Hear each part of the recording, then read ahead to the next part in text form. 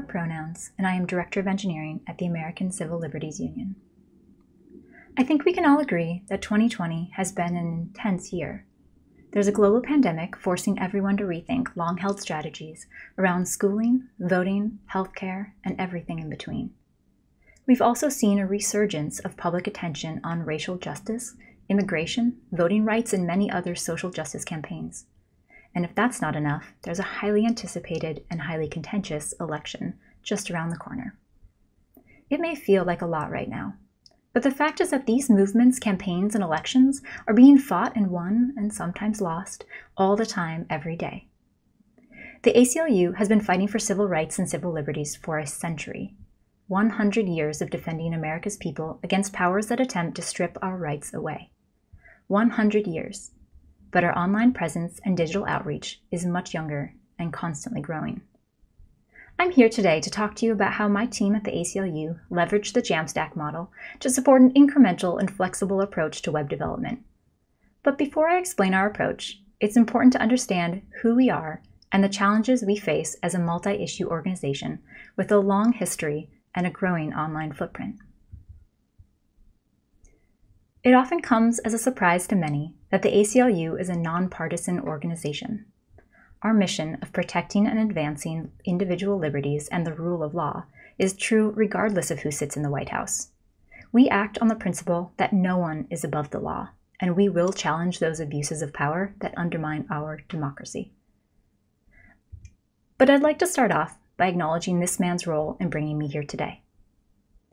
Immediately following the 2016 presidential election, and again when the Muslim ban was announced just a few weeks into Trump's presidency, many Americans began to realize what Trump's vision for America meant for our civil rights.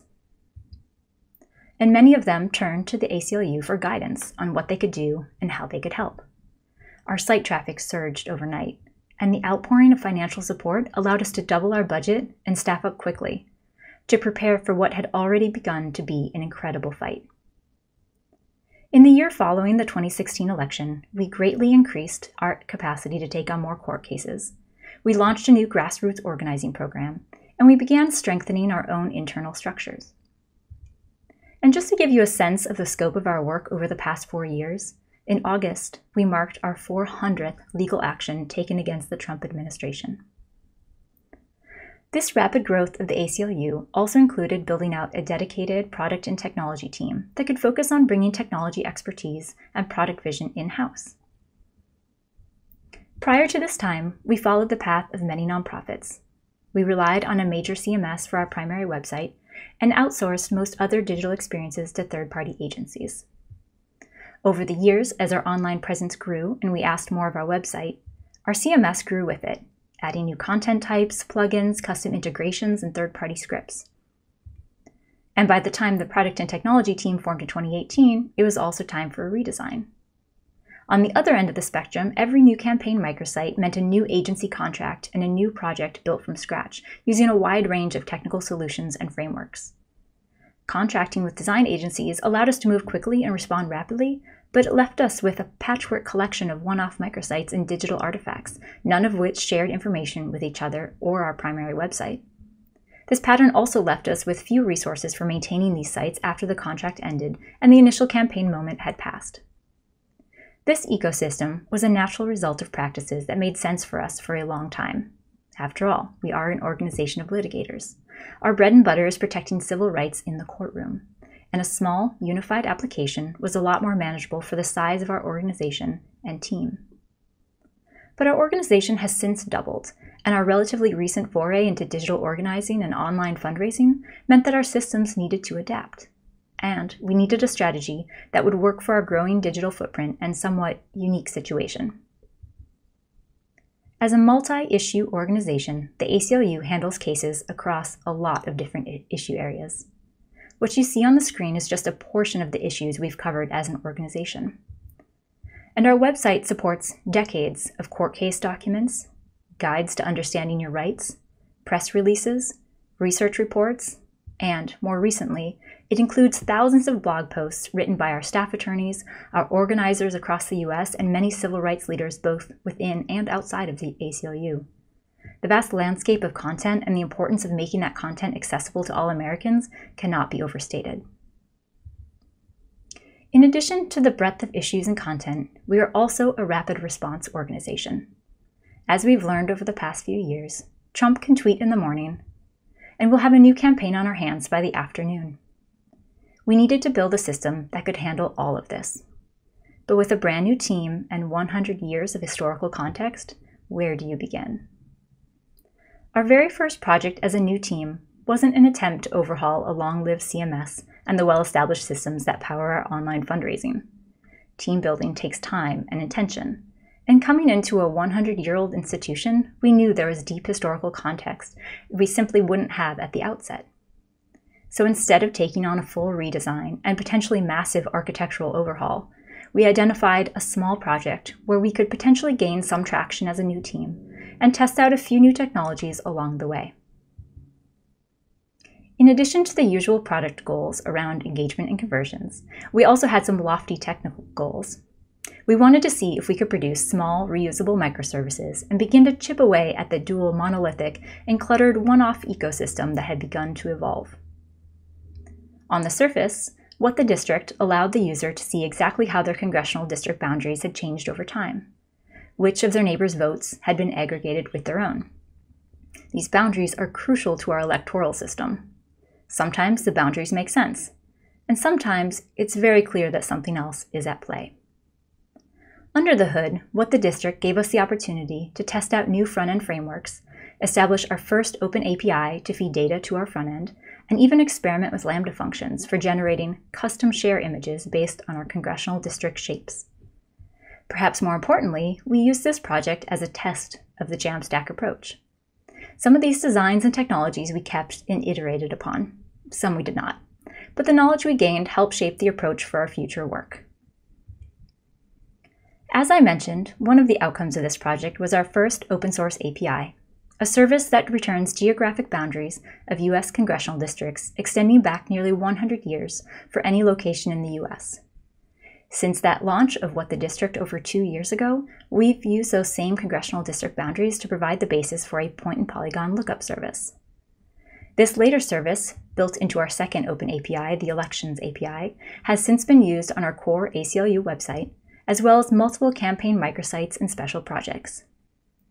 This lookup service has allowed us to deliver targeted district level information to our users based on their address, should they choose to enter it, or any other point location in the United States.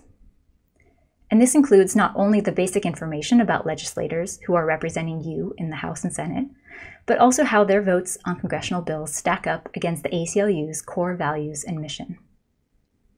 But reusability was not the only win.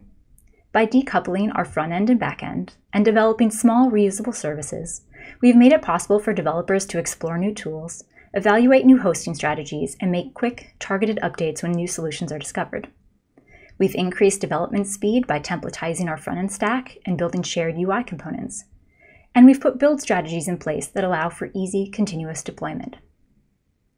If you've followed a similar path, and by virtue of being at this conference, I think it's safe to assume many of you have, you know that there are absolutely challenges to this approach. Incremental stack changes to a single website can lead to complex routing configurations, and introducing any new architecture will come with a learning curve for everyone involved. But by adopting a flexible and iterative approach, we've been able to chip away at a major site redesign one section at a time, while still having cycles available to respond to last minute campaigns and the sudden shifts of public attention, including those major moments that we've seen in 2020. To give you an example of how we've been able to reuse our existing services and build upon the lessons we've learned through our iterative and incremental approach, I'd like to turn it over to my colleague, Alison Abreu Garcia, to walk you through a very recent and very timely campaign project called Let People Vote. Hi, I'm Alison Abreu Garcia. I'm part of a team of engineers, designers, and product managers at the ACLU that build digital tools and resources to inform and engage the public about the ACLU's work. Voting rights is one of the many issues that our organization has worked on for decades. The ACLU's Voting Rights Project was established in 1965, the same year the Historic Voting Rights Act was signed into law. 55 years later, we've filed hundreds of lawsuits and continue to fight for the rights of all Americans to vote. We knew we were going to build out something on our website about voting leading up to the 2020 election, but we never could have predicted what that would look like at the start of this year. The pandemic highlighted the importance of mail in and early voting. Five states already conduct their elections almost exclusively by mail, and a majority of other states had the option to request an absentee ballot. But there are many states with eligibility rules that create barriers for people to vote. We called on Congress to increase federal funding for elections administration and to mandate universal access to no excuse vote by mail and a minimum of 14 day early vote period. We filed lawsuits in the states highlighted in this map. We wanted to build a tool that would feature these cases and help people navigate these rules and procedures to make a voting plan that was as safe, accessible, and secure as possible wherever they were registered. To start, we reflected on past sites to see what we could reuse. For the 2018 midterm election, we built a Jamstack site. This site was largely powered by our Elections API, which drew data from a multitude of sources to offer information about ID requirements, polling place lookups, voting re- records of members of Congress, and important election dates. There are many aspects of the site that were still relevant to the 2020 election that we would be able to draw from. But this election is also different in a number of ways. We needed to give much more detail to information about how to vote in the context of COVID we also needed to be able to quickly update that content as cases were ruled and voting requirements changed. Since our 2018 voting site, we had built a number of new internal tools. Last year, we launched the new headless CMS for some of the sections of the site that we redesigned and moved on to the Jamstack, as Miranda mentioned earlier. We decided that building new content types within this existing system would be the fastest way to put the voting content into the hands of editors allowing the production and uh, allowing the product and tech team to focus on the user experience and front end engineering. It was a system our content team was already familiar with, and we had an established pattern for the CMS's API and for building front ends that pulled content from there. Taking this approach meant that we had a backend ready to go within a day. We also had some new tools on the front end. When we found ourselves needing to use the same UI and functionality across our sites, such as our navigation, we built a shared component library.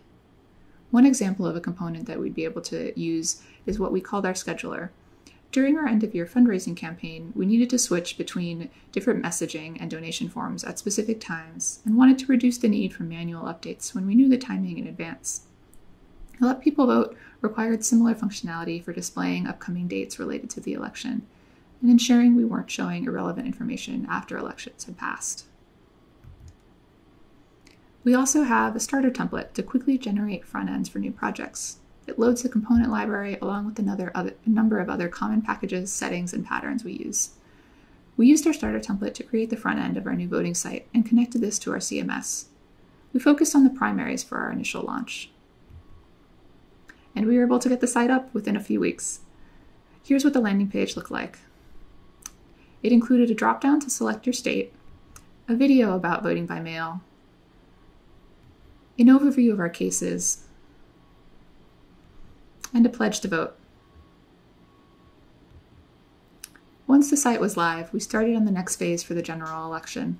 A lot of the structure is similar in terms of what milestones there are leading up to the general, but we wanted to provide a more detailed we wanted to provide more detailed information about voting by mail. We also needed to include resources our affiliates were providing about state-specific elections and rights. The content was continually evolving, Taking an iterative approach to this site also allowed us to make adjustments to the user experience based on feedback from our initial launch of the primaries and the shift from messaging about national litigation to state based voting plans.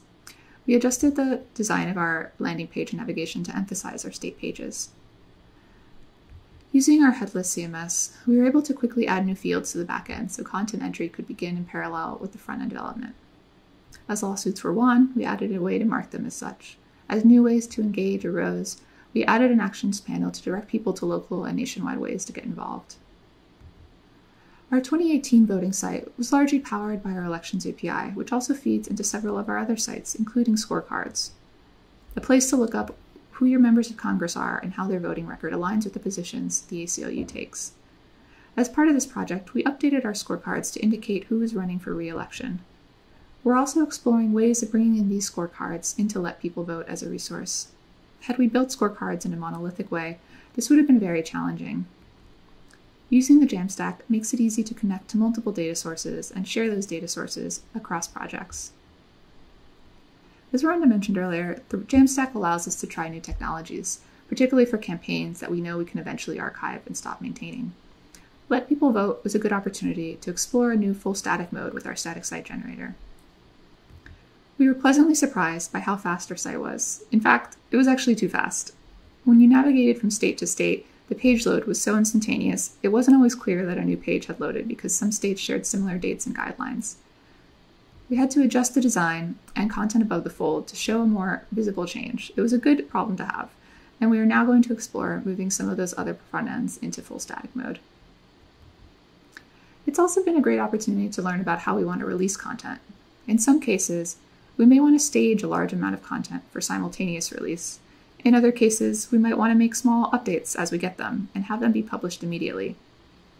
We use build hooks to automatically deploy content, updates as they're made, but static site generators also give us the flexibility to remove the build hooks and control when we refresh the content.